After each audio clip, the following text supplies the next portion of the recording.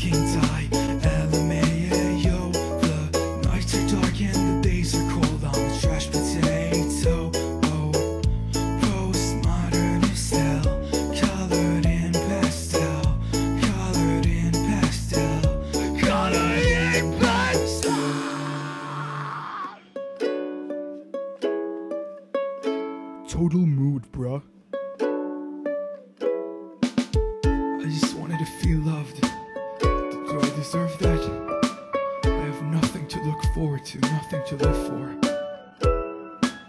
So I'll go on ahead and embrace life with a laugh.